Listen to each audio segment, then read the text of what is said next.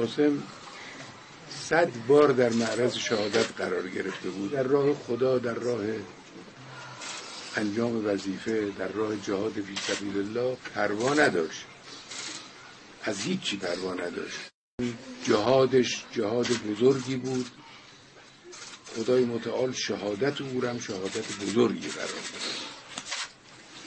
انشاءالله امیدواریم که خداوند درجات عالی کنه و اون نعمت عظیمی که شامل حال او شد در او گوارا باشه که حقش بود شایسته این نعمت بزرگ بود.